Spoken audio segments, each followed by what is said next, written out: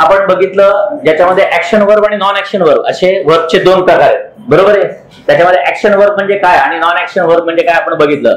त्या ऍक्शन आणि non action वर्बमध्ये दोन वर्ब जे आहेत जे ऑक्झिलरी म्हणून सुद्धा आणि मेन वर्ब म्हणून सुद्धा वापरले जातात.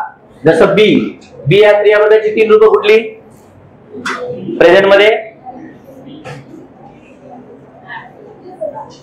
पास्टमध्ये कुठलं आहे? आणि फ्युचरमध्ये? मग इथे फ्युचर असतं का? नाही. म्हणजे इथे काय असतं शेवटी? पास्ट पार्टिसिपल पास्ट पार्टिसिपलमध्ये टू बीचं तिसरं रूप काय आहे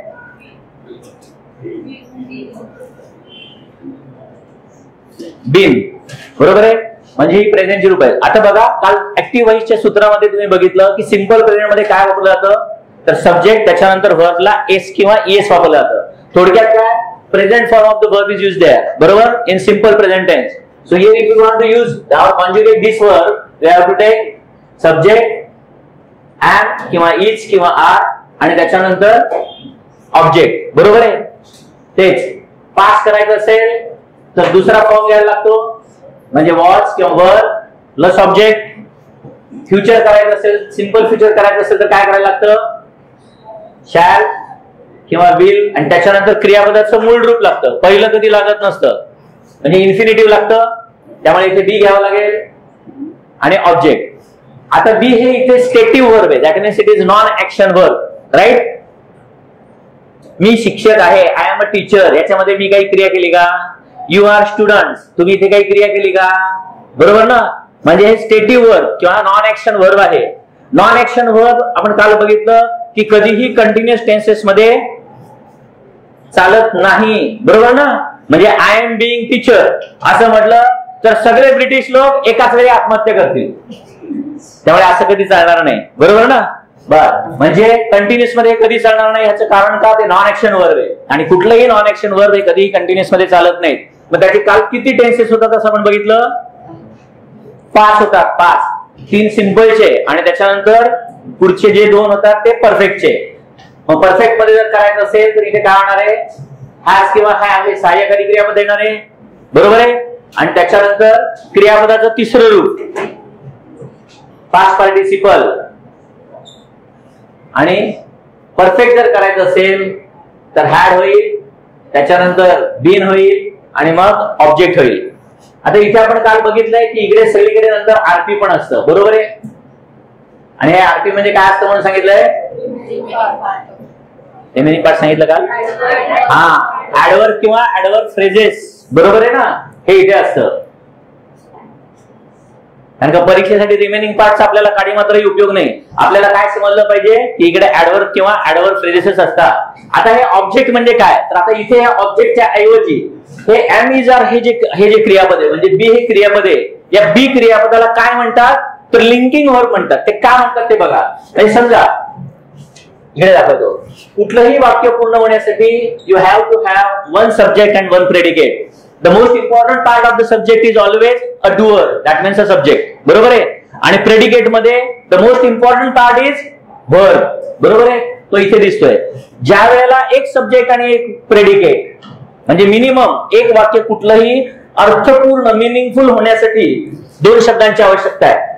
ज्यावेळी दोन शब्द येतात एक सब्जेक्ट आणि एक वर्ड त्यावेळेला ते वाक्य मिनिंगफुल होतं. पण काही क्रियापद अशी आहेत की ती क्रियापद जर वाक्यामध्ये वापरली आणि प्रेडिकेटमध्ये आली तर मात्र ते वाक्य कधीही अर्थपूर्ण होत नाही. जर समजा मी नुसतं असं म्हटलं ए सेम्स तो दिसतो बघा काय अर्थ आहे का त्याच्यामध्ये? तो काय दिसतो? सुखी दिसतो दुःखी दिसतो रागावलेला दिसतो थकलेला दिसतो काहीतरी पाहिजे ना. So you have to take here objective कळलं? तसंच टू बी हे क्रियापद पण असंच आहे. मी नुसतंच म्हटलं ही इज पण काय? क्लेवर फुल स्टुडंट काहीतरी पाहिजे ना. म्हणजे इथे काही ना काहीतरी इथे तुम्हाला नाउन किंवा ऍब्जेक्टिव्ह हे घ्यावेच लागतात. त्यामुळे हे जे टू बी किंवा हे सेम किंवा अशी बरीच काही क्रियापद आहेत. यांना लिंकिंग वर्क असं म्हणतात. किंवा कॉप्युलेटिव्ह वर्क किंवा कॉप्युला असं पण म्हटलं जातं. असू दे आपल्याला काय पेपरमध्ये कॉप्युलेटिव्ह वर्ड म्हणजे काही कधी विचारत नाही. सांगायचं काय प्रेडिकेट ज्या वेळेला इनकम्प्लीट राहतं वर्क मुळे. समजतंय ना? मुळे ज्या वेळेला प्रेडिकेट इनकम्प्लीट राहतं त्यावेळी अशा वर्बला वर्ब ऑफ इनकम्प्लीट प्रेडिकेशन असं म्हणतात. आणि ह्याच्या पुढे नेहमी ऍडजेक्टिव्ह असतं. समजतंय? इथे ऍडजेक्टिव्ह असतं पण हे फक्त क्रियापद असं आहे की ह्याच्या पुढे तुम्हाला नाऊन पण वापरता येतं. मी जर म्हटलं ही इज अ बॉय चालेल? नाऊन चालेल ना? तेच मी म्हटलं he is Nitin proper noun घेतलं तरी पण चालेल. हेच मी म्हटलं it is a pen common noun चालेल म्हणजे इट घेऊन पण चालेल. काय सांगतोय समजतंय ना? बर. हे आणि हे जे आहे ते लिंकिंग वर्क असं म्हणतात. मग ह्याच्या पुढे ज्याप्रमाणे नाव येतं त्याचप्रमाणे ह्याच्या पुढे ऍडजेक्टिव्ह पण येऊ शकतं. He is clever he smart he is dull काही पण घ्या तुम्ही. बरोबर ना? आणि जसं ऍडजेक्टिव्ह येतं तसं ऍडवर्क पण येऊ शकतं. He is here he was there he is in the classroom he is in Pune Pune हे प्रॉपर नाऊन आहे पण इन पुणे ही ऍडवर फ्रेज आहे. कुठे कुठे? कळलं ना? कुठे आहे? पुण्यात. म्हणजे इन पुणे ही ऍडवर फ्रेज झाली. समजते म्हणजे ह्याच्या पुढे नाऊन ऍडजेक्टिव्ह किंवा ऍडवर हे काही येऊ शकतं. आता बघा इथे त्यामुळे इथे नाऊन समजा आणि इथे ऍडजेक्टिव्ह किंवा ऍडवर काही येईल. कळलं या आरबी मध्ये? म्हणजे आतापर्यंत ऍक्टिव्ह व्हॉइसमध्ये तिथे फक्त काय येत होतं? ऍडवर्ब किंवा ऍडवर्ब फ्रेजेस पण ज्यावेळी बी हे क्रियापद लागेल त्यावेळी इथे ऍडवर्ब आणि ऍडवर्ब फ्रेजेसच्या ऐवजी इथे ऍब्जेक्टिव्ह पण येऊ शकतं. समजतंय? बर.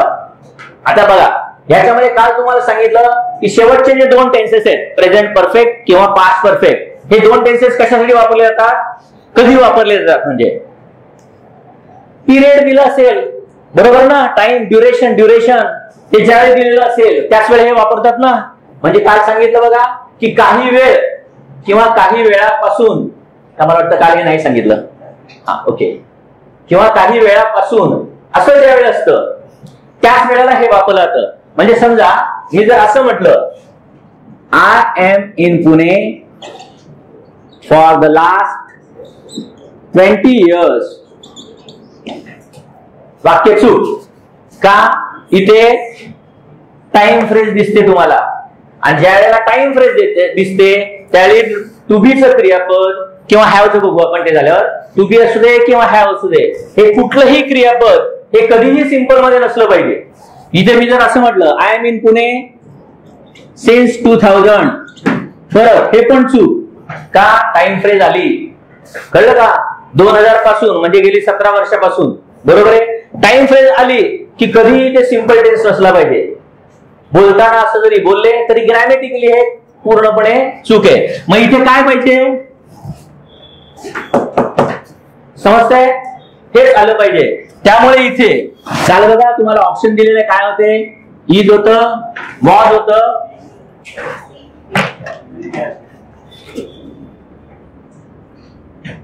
आणि हॅजबीन होत. बरोबर आहे?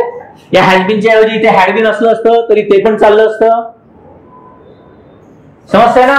का? कारण का पास्ट परफेक्ट आहे? आणि ज्या वेळेला टाइम फ्रेज असेल त्यावेळेला म्हणजे फॉरची फ्रेज असू दे किंवा सेन्सची फ्रेज असू दे याच्यामध्ये मात्र तुम्हाला तिथे तेच वापरायला पाहिजे. म्हणून याच्यामध्ये नेहमी हॅजबीनच आलं पाहिजे. क्लिअर समजतंय? एवढी फक्त याचे जे फॉर्म्युलेज आहेत ते लिहून घ्या. याचं एक वाक्य दाखवतो तुम्हाला इथे. म्हणजे तुम्हाला थोडासा फरक समजेल त्याच्यामध्ये लिहून घ्या लिहून घ्या. बरं हे समजलं? आता इकडे खालचे वाक्य बघा. इंग्रजीमध्ये एक तर सगळ्यात पहिल्यांदा सीन्स आल्यानंतर आपल्या डोक्यामध्ये एक भरून गेलेलं असतं. की तिथे नेहमी परफेक्ट प्रेझेंट किंवा कंटिन्युअस परफेक्ट प्रेझेंट हेच लागतं. जसं कालच्या इकडच्या वाक्यामध्ये बघा हॅज बीन हॅव्हिंग असं काहीतरी दिलेलं होतं मला वाटतं. बरोबर ना?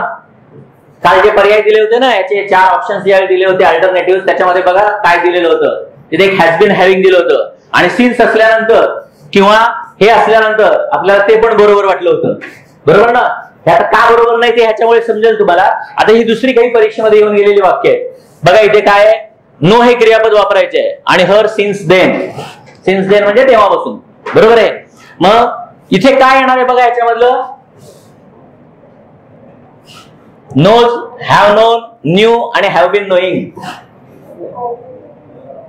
have been knowing येईल? आपण बघितलं ज्याच्यामध्ये ऍक्शन वर्ब आणि नॉन ऍक्शन वर्ब असे वर्बचे दोन प्रकार आहेत. बरोबर आहे? त्याच्यामध्ये ऍक्शन वर्ब म्हणजे काय आणि नॉन ऍक्शन वर्ब म्हणजे काय आपण बघितलं?